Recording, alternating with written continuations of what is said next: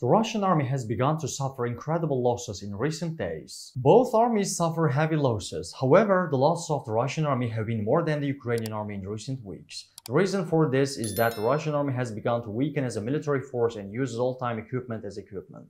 Ukraine can renew its weapons and equipment with the support it receives from the West, but the situation is troubling for the Russian army. Russian soldiers are uncomfortable using all the ammunition. The Ukrainian army conducted many counterattacks against the Russian army today. The majority of these attacks were in Bakhmut region. The Russian army lost many of its soldiers in these areas. According to the announced figures, the Russian army lost 420 soldiers in two days. To reach all actual news, fast and reliable worldwide, please don't forget to follow and like us.